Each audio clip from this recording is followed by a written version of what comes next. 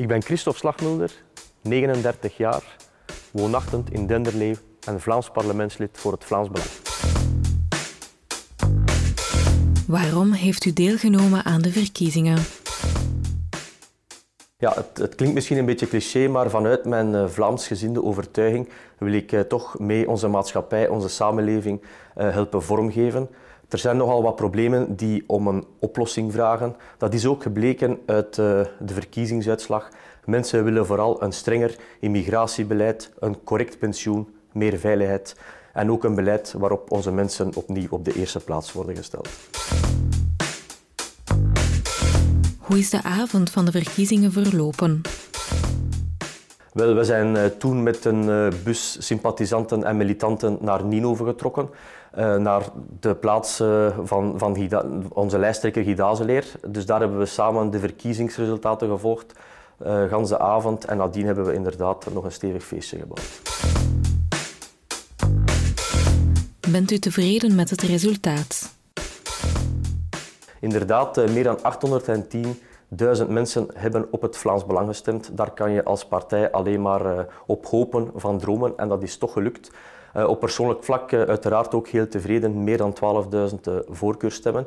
In mijn gemeente heeft het Vlaams Belang 34% behaald. Dat was 8% meer dan bij de gemeenteraadsverkiezingen in oktober. En ja, dat, dat geeft toch wel vertrouwen voor de toekomst. Wat zijn uw verwachtingen over uw nieuwe functie? Wel, ik denk dat er vooral veel zal vergaderd worden in de komende vijf jaar.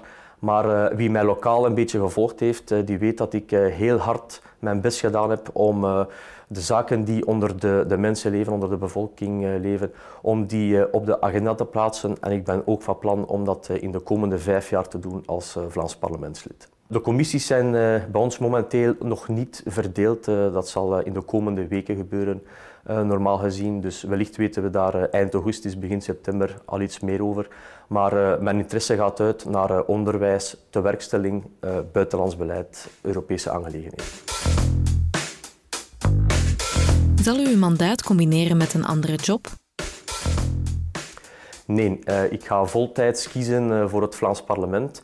Ik blijf wel gemeenteraadslid in Denderleeuw. Ik vind het toch wel belangrijk om uh, dicht bij de burger te staan, bij uw kiezers, om te weten wat er leeft onder de bevolking. En ja, ik denk Vlaams parlementslid, dat is een voltijdse job. Dat is meer dan een voltijdse job. dat is bijna 7 op 7. Dat gaat ook door in het weekend. Dat stopt niet om, om 5 uur in de namiddag. Dus nee, ik ga enkel ik ga me enkel concentreren uh, op mijn mandaat als Vlaams parlementslid. Wat is de impact op uw sociale en familiale leven?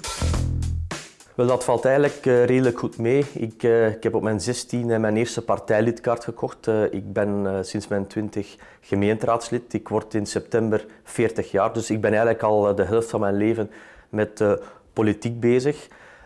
de vrienden van vroeger die zie ik minder, jammer genoeg. Maar dankzij de politiek heb ik toch ook nieuwe vrienden gemaakt. Uh, op familiaal vlak, um, ik heb heel veel steun gekregen van mijn familie de voorbije jaren. Uh, zonder hen zou het zeker en vast niet gelukt zijn. Ik kom niet uit een politiek nest.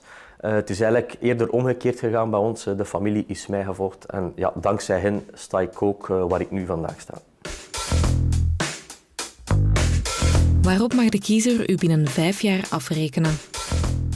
Wel, ik ben van plan om net als op lokaal vlak heel veel initiatieven te nemen in het Vlaams parlement, in de commissies.